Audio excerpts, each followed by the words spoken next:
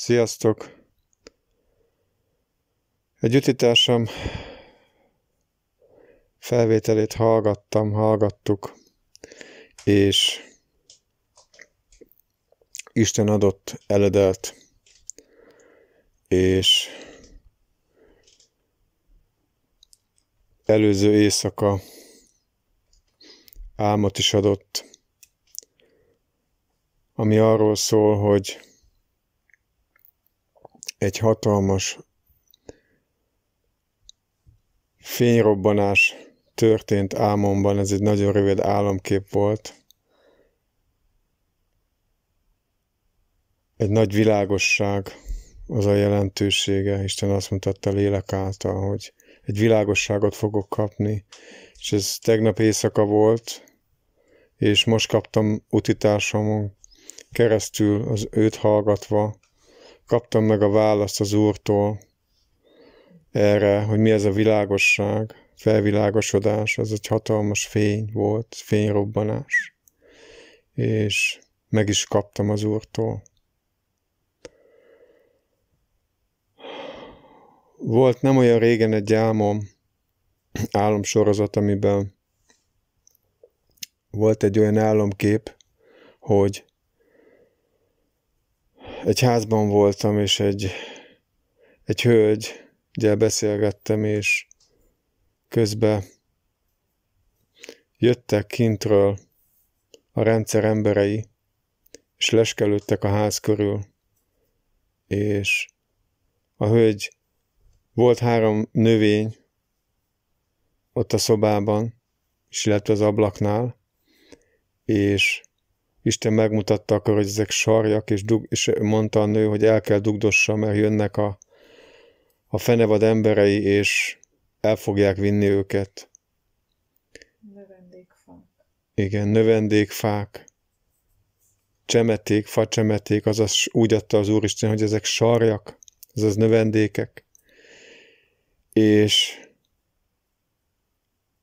Mondta, hogy el kell őket rejtse, mert ha, ha minden házhoz mennek ezek az emberek, és mindenhol körülnéznek, és ahol találnak ö, növendéket, gyermeket, az, azokat elviszik. És akkor nekem erre konkrétan nem adott plusz megértést, de most adott világosodást megvilágosodást erre. És pedig ez a következő egy nagyon egyszerű, hogy ezek a csemeték, ezek a növendékek, ezek a mi gyermekeink, a fiatalok, akiket le fognak vadászni, el fogják vinni, be fogják őket hívni katonának, és aki bujkálni fog, azokat keresni fogják és a szülők nyilván nem akarják, mert amit én még akkor nem tudtam, mikor ezt álmodtam, most megmutatta az Isten, hogy háborúl, háborúra készül az egész világ, és persze ezt alattomosan csinálják, és azért kellett dugdosni a fiatal csemetéket, a fiatalokat, a gyermekeket a rendszer elől, mert el akarták őket vinni, mindannyiukat, az utolsó szálig a háborúba beállítani, és harcolni az ő akaratuk szerint, és ezáltal legyilkolni, ahogy megvan írva a jelenések könyvében, hogy egyharmada az embereknek háborúba el fog pusztulni, Nagyon kemény felismerés volt ez, drága embertársaim. De Isten már két, nap, két nappal ezelőtt éjszaka megmutatta, hogy lesz egy világosság, amit, ami el fog duranni. Egy nagy duranás. És ez meg is történt. Megvalósult. És a háború is megfog.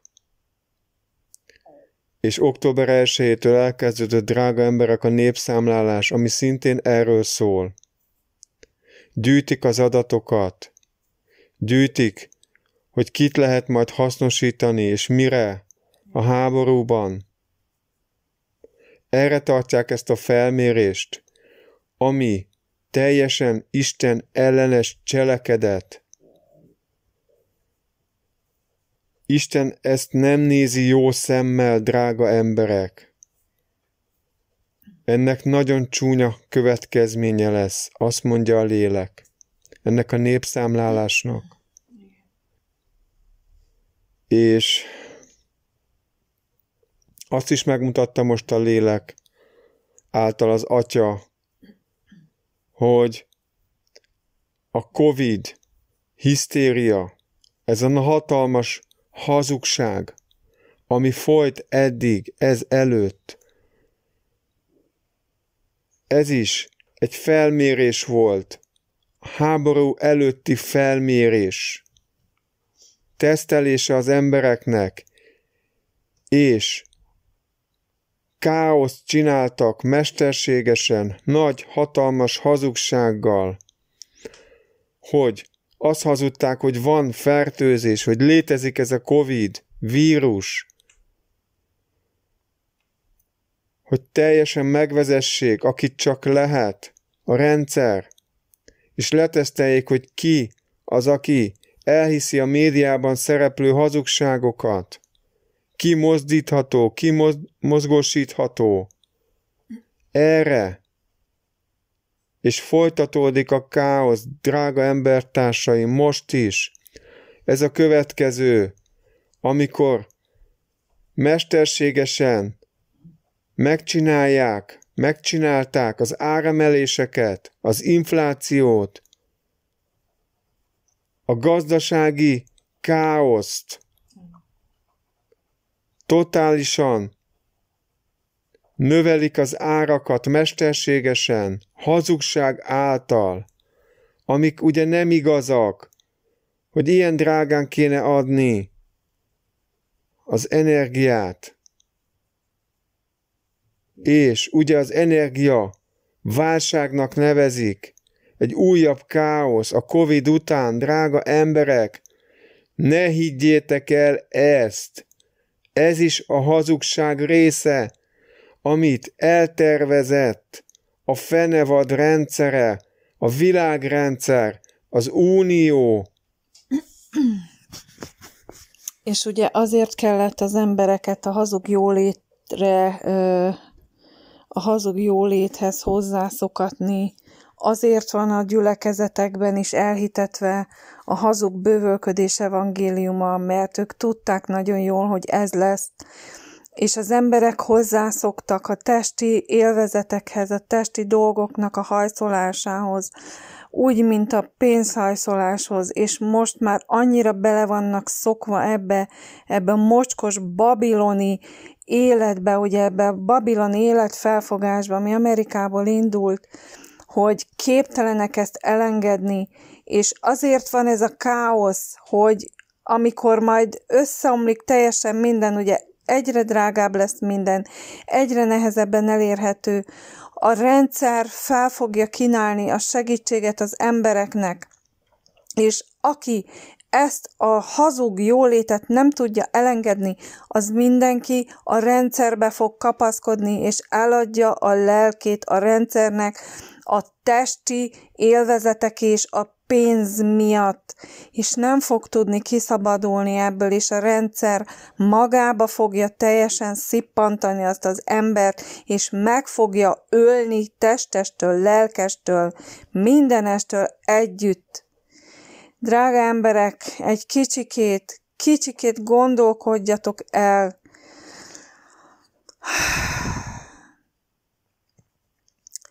kapcsoljátok ki a tévét, kapcsoljátok ki az internetet, dobjátok ki a telefont a WC-be, húzzátok le, ne hallgassatok senki emberre, forduljatok a jóságos Úristenhez, az ég és a föld teremtőjéhez. Ő meg fogja nektek mondani, ha őszinte szívvel kéritek tőle, hogy adjon választ, ő válaszolni fog nektek a kérdésetekre, ahogy nekünk válaszolt annak idején, és most is válaszol a kérdéseinkre. Ebből a dologból nincsen más kiút, semmilyen emberi rendszer, semmilyen önmegvalósítás, semmilyen ö, saját emberi fejből kiötlött terv ezen nem fog tudni változtatni, és senkit nem fog megmenteni, mert pontosan, hogy ez a rohadt elcseszett ádámi gondolkodás az, ami ide vezet az embert, ami miatt belekerültünk ebbe, hogy a saját mocskos, elcseszett, saját ördögi gondolataink, tévhiteinket akartuk megvalósítani, és ez vezetett ide. És ez még itt nem a vég, ahogy Jézus is mondta, mert ettől még sokkal durvább dolgok fognak következni. Igen. És az az ember, aki ezt nem látja át, és nem fordul a magasságos Úristenhez, Jézus Krisztushoz segítségért, hogy személyes kapcsolata legyen vele, hogy tudja vezetni az az ember, a családja és a gyerekei szenvedésén keresztül fogja meglátni az igazságot, és az borzasztó lesz, emberek, borzasztó. Minden rossznak okozója a pénz. Azt mondja az Úr lélek által. Lukács 18, 18-tól 30-ig. Szeretném ezt nektek felolvasni, drága embertársaim. A gazdagság veszélyei. És megkérdé őt egy főember, mondván, jó mester, mit cselekedjem, hogy az örök életet elnyerhessem? Monda pedig, ne, monda pedig neki Jézus, Miért mondasz engem jónak? Nincs senki jó, csak egy, az Isten. A parancsolatokat tudod. Ne paráználkodjál, ne ölj, ne lopj, hamis tanúbizonyságot ne tégy, tiszteld atyádat és anyádat. Az pedig monda, mindezeket ifjúságomtól fogva megtartottam. Jézus ezeket halván monda neki, még egy fogyatkozás van benned. Add el mindenedet, amit van, és oszd el a szegényeknek, és kincsed lesz a mennyországban. És jer, köves engem. Az pedig ezeket halván, igen megszomorodék, mert igen gazdag vala. És mikor látta Jézus, hogy az igen megszomorodék, monda, mi nehezen mennek be az Isten országába, akiknek gazdagságuk van, mert könnyebb a tevének a tű fokán átmenni, hogy nem a gazdagnak az Isten országába bejutni. Akik pedig ezt hallották, mondának, ki üdvözölhet tehát? Ő pedig monda, ami embereknél lehetetlen, lehetséges az Istennél. És mondta Péter, íme mi mindent elhagytunk és követünk téged. Ő pedig mondta nekik, bizony mondom nektek, hogy senki sincs, aki elhagyta házát, vagy szüleit, vagy testvéreit, vagy feleségét, vagy gyermekeit az Isten országáért, aki sokszor többet ne kapna ebben az időben, a jövendő világon pedig örök életet. Drága emberek, Ezt mondja az Úristen. És indította a lélek már több napja erre, hogy ezt olvassam fel. Felvételt készítsek erről a igerészről. A gazdagság veszélye, és miért veszélyes a gazdagság? Ugye? Ugye van szellemi gazdagság is, és van ugye a pénzbeni gazdagság, a vagyon, és ugye a pénze megvett dolgok, anyagi gazdagság. Mind a kettőről beszél Jézus Krisztus tulajdonképpen itt, mert mind a kettő nagyon veszélyes minden ember számára. Mert ugye a tudomány, a tudomány által állított valóságok, amit a tudomány állít, áltudományok, az ember által kutatott dolgok, és a közintézményekben, közoktatásban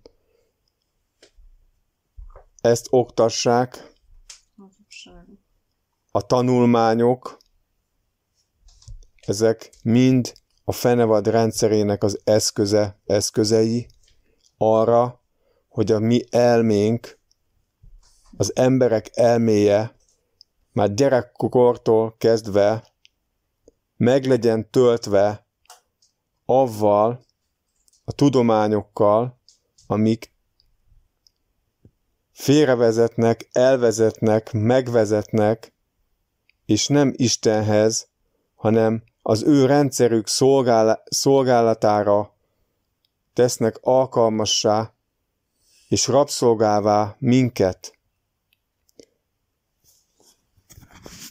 Ahogy már a jó múltkor is a férjemnek adta lélek, ugye, hogy ez egy átprogramozás, ahogy nekem megmutatta ezt Isten, hogy ezáltal, a programozás által, a folytonos emberi tanulmányok által és a, a rendszertől jövő többi program által ugye a sok tanulás, az iskola, a médiából jövő mindenféle hazugság magunkba szívása tesz minket bölcsbagyokká, akik szemüveget hordanak, vagyis egy beszűkült, bevakult látású, tiszta testi ösztönöknek élő lényi.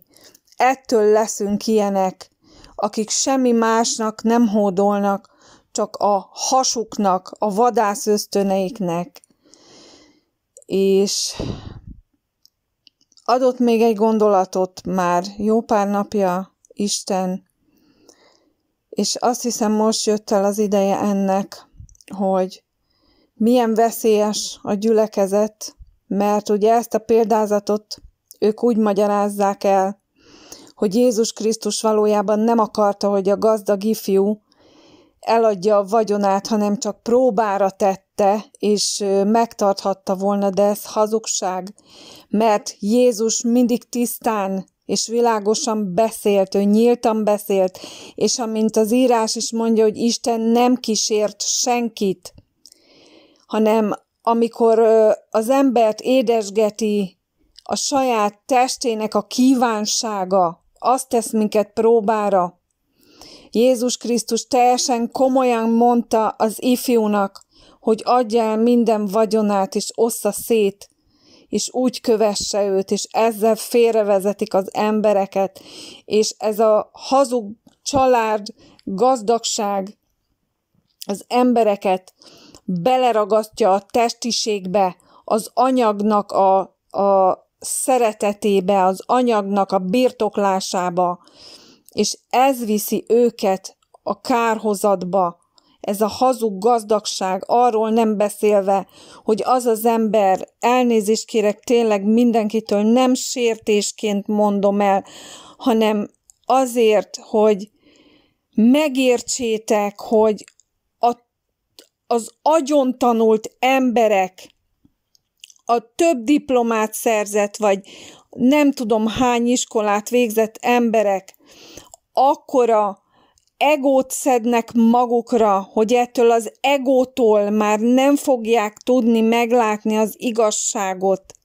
Hatalmas nagy önbizalomra tesznek szert, és még hogyha valami olyan dolog is éri őket, amin keresztül fölébredhetnek, hogy meglássák az igazságot, de akkor sem Isten felé fognak fordulni, hanem a saját kiha én nem egójával majd meg fogja próbálni megint az emberi elcseszett gondolkodás szerint megoldani azt a dolgot, ami ugyanúgy beleviszi őt a szakadékba, mert értsétek meg, hogy az ego tartja távol az embert Istentől, amit mutatott a lélek. Soha nem fogunk Istenné válni, mert az Isten nem engedi meg. Az emberi ego, az isteni énnek csak egy silány másolata, és soha nem fog Istenné válni.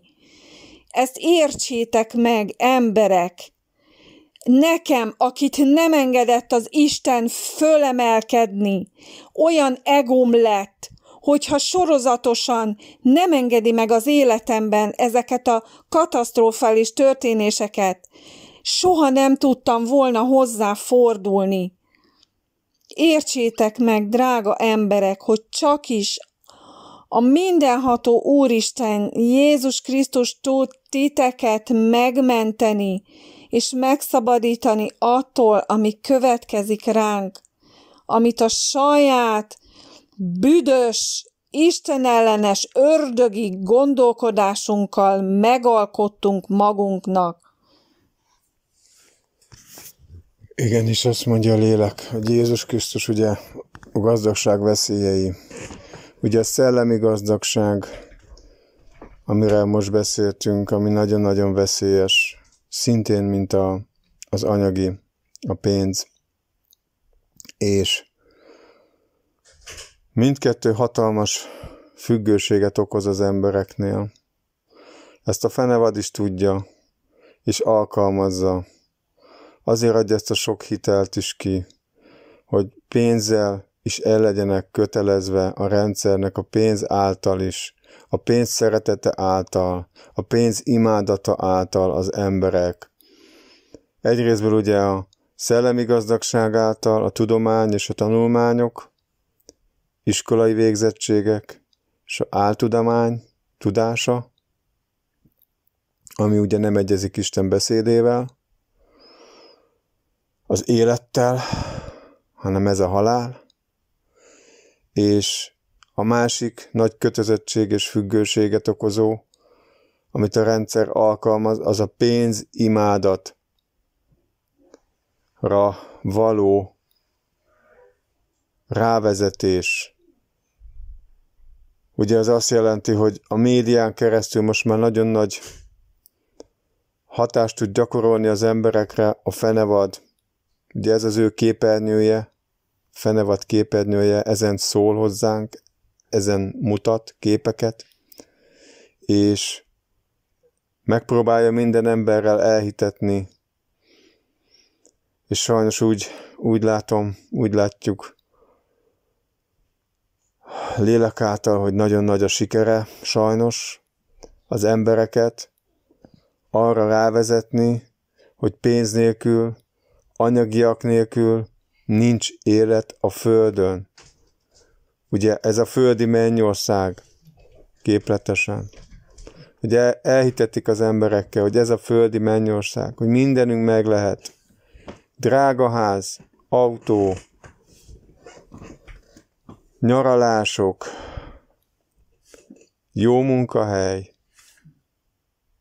Ugye a tanulmányok által rávesznek, a tanulmányok avval, hogy utána, utána a tanulmányok miatt jó munka, jobb munkahelyünk lehet, jobban fizető, magasabb pozíció, és ezáltal több pénzünk, és egy nagyon tanult ember, Isten bocsássa meg, amit mondok, és nem bántásból mondom, nem károsztatásból mondom, egy nagyon-nagyon sok iskolát végzett, és aki eléri azt ezáltal, hogy még nagyon gazdag is lesz, nagyon kemény. És melyik a nehezebb, drága emberek? Melyik a nehezebb függőségtől megszabadulni? Azt mondja a lélek, hogy a tanulmányok, a tanulmányok, az iskolai végzettségek, birtokában lévő emberek, ugye hatalmas egóval rendelkeznek ezáltal.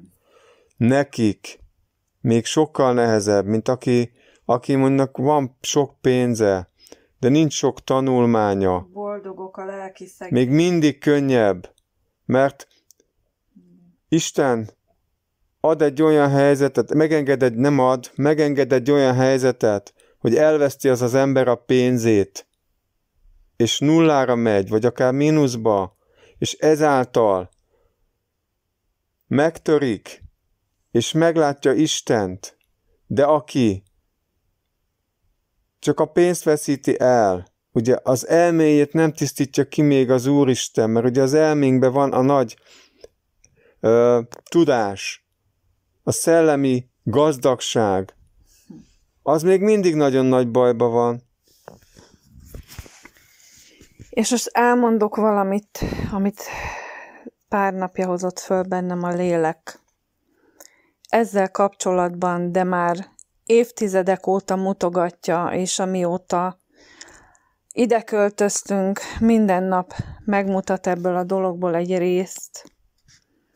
Ugyebár a gyerekeket olyan hülyeségekkel ösztönzik az iskolába, olyan ö, lelki terrorban tartják, hogy tanulni kell, mert akkor hülye leszel, lemaradsz, nem leszel senki, sőt, ö, lányoméknál az iskolában leíratják a füzetbe, ugye a, a Sahar Salát dömötör, hogy buta volt, mint hatökör, és ha nem tanulsz, akkor ilyen leszel, és el vannak a gyerekek már kicsi korba hitetve, megölik a lelket bennük, belemennek ebbe az ördögi játszmába, hogy te csak akkor lehetsz valaki, hogyha húsz évig iskolába jársz, van öt diplomád, meg öt nyelvvizsgád, meg nem tudom én milyen pozíciód, és a szomorú valóság emberek az, hogy nagyon meg vagytok vezetve,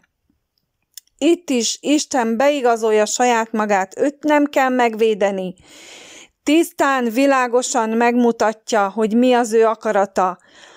Hála és dicsőség Istennek, hogy az alatt, a majd nyolc év alatt, mióta itt lakunk, rengeteg hajléktalannal barátkoztunk össze, jó viszonyba kerültünk, vannak köztük futólagos ismerettségek, és nagyon sok közülük, ahogy elmesélte az életét, kapaszkodjatok meg, lecsúszott, diplomás, agyoniskolázott, gazdag emberek, tanárok, ügyvédek, igazgatók, vállalkozók, akik tele voltak pénzzel, és ö, több ingatlanjuk volt, és külföldi ingatlanok, és autók, és egyebek.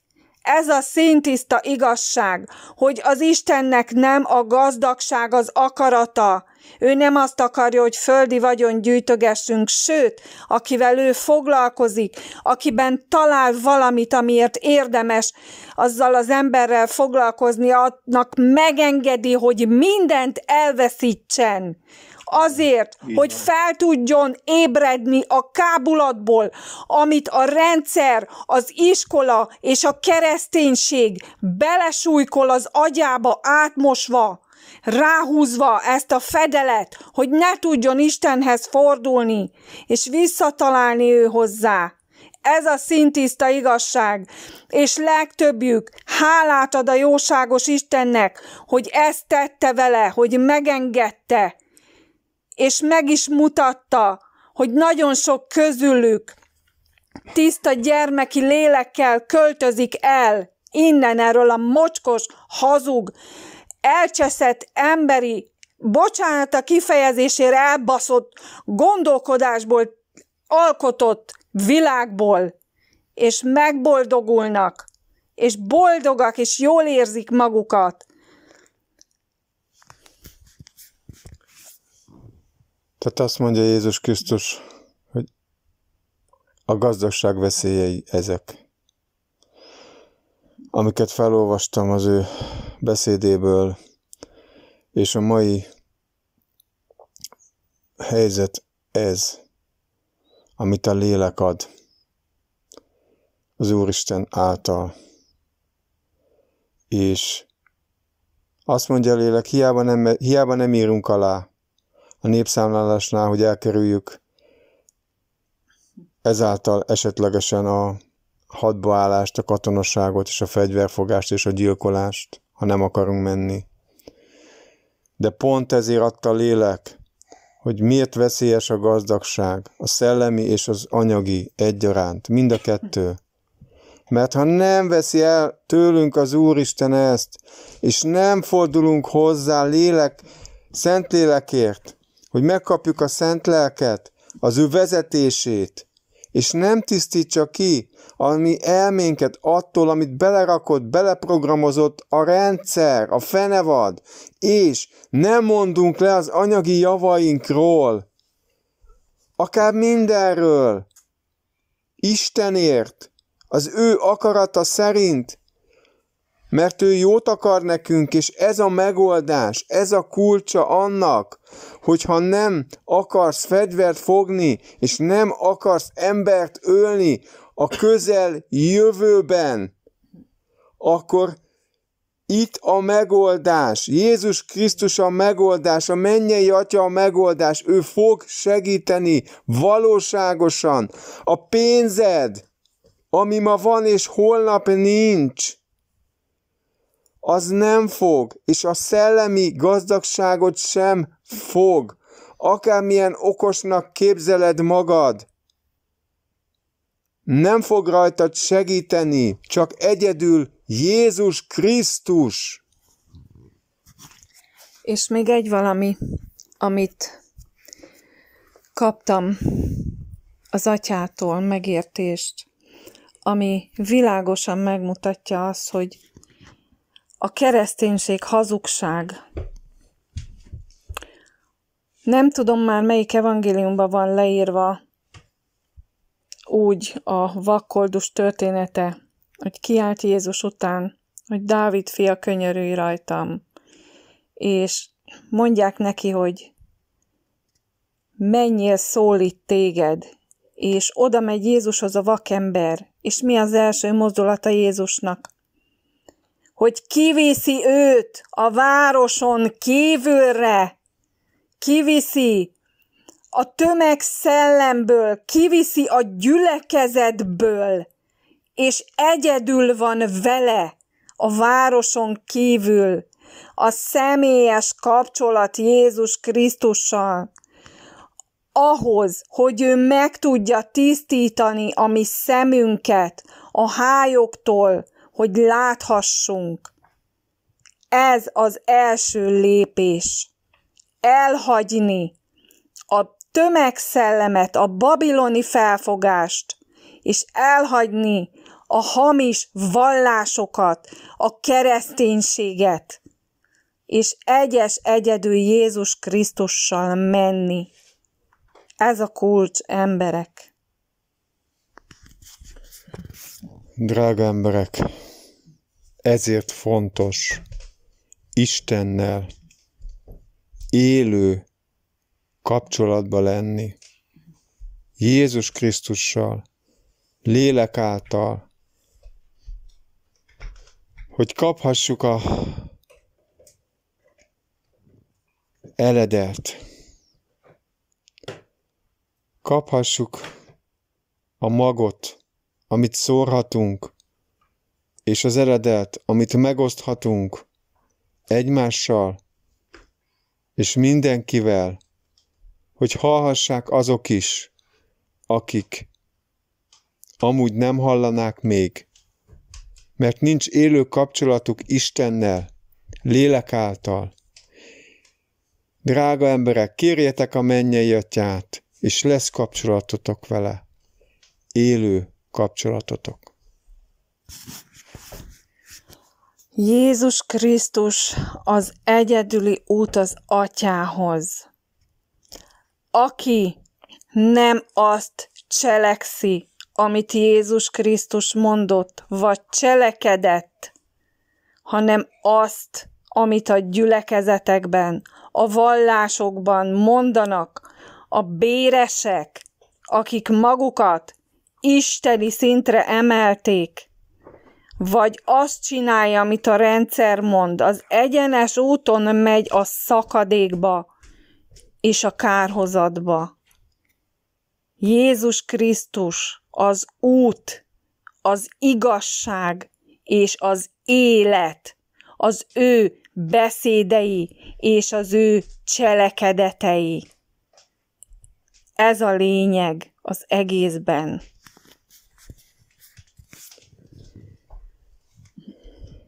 Drága emberek, ez Isten üzenete.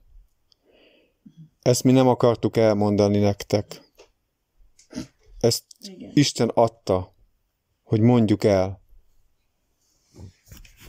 És erőteljes jelét is adta az éjszaka. Most elmondom nektek őszintén, hogy nekem mibe került ez, amit kaptunk ma tőle. Az éjjel olyan rosszul lét jött rám, fölébredtem. Régen volt ilyen, mikor elhívott, és nem tudtam, hogy azt akarta, hogy kezdjek el beszélni. Szó szerint azt hittem, hogy meghalok, mert a szívem annyira fájt, szúrt. És nem tudtam ezt mire vélni, hogy mit követtem el, vagy mit nem tettem meg, amit kellett volna, de nem tudtam, mert nem kaptam választ. Hát ez a válasz. Megjött a válasz, ez a válasz, a figyelmeztetés, lehet, hogy az utolsó figyelmeztetés. Akár neked, akár a másiknak nem lehet tudni, hogy holnap fölébredünk-e. És akkor mi lesz? Egy kicsit gondolkodjunk el, drága emberek. Mert nem kárhoztatunk senkit, nem veletek kiabálunk, hanem a lélek értetek kiált. Isten lelke értetek kiált mindannyiunkért.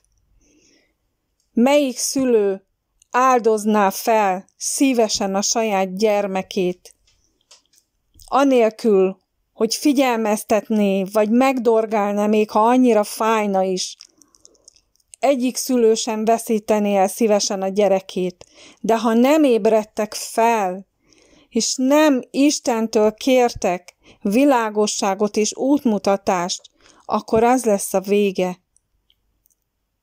Isten mindenkit szeret, hívogat mindenkit magához, ő minden gyermekét meg akarná menteni, de ahhoz nekünk kell lépni ő felé, közeledjetek az Úrhoz, és ő is közeledni fog felétek. Ez Isten üzenete mindenkinek. Isten irgalma legyen mindenkin, Isten oltalma legyen mindenkin. Sziasztok! Isten áldjon, sziasztok!